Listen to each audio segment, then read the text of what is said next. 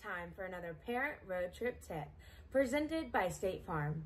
I'm Cheyenneista from the SADD National Student Leadership Council, and I'm excited to be with you today. It's been awesome hearing the expertise of the State Farm agents over the past several weeks. Today, I'm pleased to share the next Parent Road Trip Tip. These daily tips help parents keep their teens safe as they master the art of driving. Despite COVID-19, many school buses are still going to be on the roads this fall, transporting children. That's why it's important for drivers to remain vigilant around buses and important for parents to know how to help your children ride the bus safely. Wait with your little ones at the bus stop to help make sure that you and your child are visible as needed. Ensure that your child knows to stand at least three giant steps away from the curb.